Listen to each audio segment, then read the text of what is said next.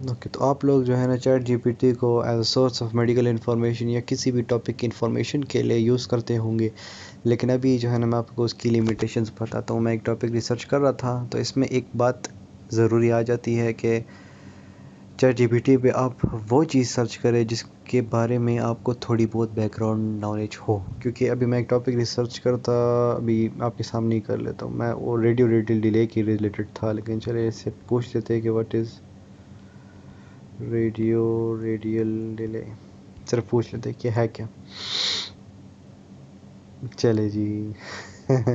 अभी जो है ना ये उसके रिलेटेड बता रही नहीं है। तो इसमें असल में ना इसने रेडियो, रेडियल डिले मैंने मतलब उसके रिलेटेड एक टॉपिक था ना मतलब उसमें डीप डेप्थ में क्वेश्चन था, लेकिन वो उसमें रेडियो, रेडियल डिले को एक्सप्लेन ही गलत कर रहा था। मतलब पूरा गलत, इतने अच्छे अल्फाज में गलत बोल रहा था। कि आप मानेंगे नहीं कि ये गलत बोल रहा है। तो इसीलिए है ना कि बैकग्राउंड नॉलेज के बगैर यहाँ पे सर्च करना बिल्कुल बेकार है। तो कोई भी बैकग्राउंड मतलब ये कोई सर्च करे तो इससे पहले गूगल कर ले या जो भी अपना कॉन्टेक्ट है जिधर, किधर अच्छी रेफरेंस से पढ़े।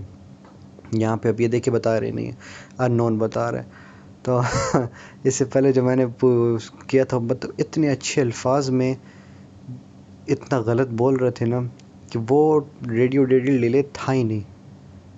तो चले, मुझे अगर वो स्क्रीनशॉट मिल गई तो वो मैं इसमें भी शेयर कर दूँगा।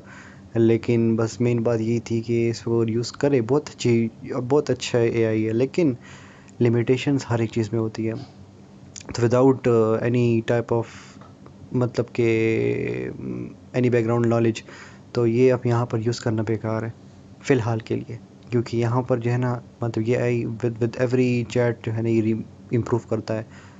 अब मैंने जो इसको करेक्ट किया था उस टाइम तो मैंने कहा, चले अभी वीडियो बनाता हूँ अभी ये प्रोसेस ही नहीं कर रहा उस इन्फॉर्मेशन को जो ला प्रीवियस मेरा क्वेश्चन था तो अभी तो मतलब आंसर ही नहीं कर रहा. पहले तो फिर भी गलत बोल रहा था, अभी तो ठीक मतलब कुछ बोल रहे नहीं है।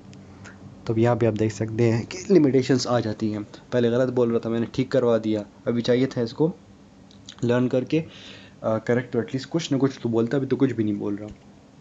तो चले बस फ़िलहाल मुझे यही बोलना था।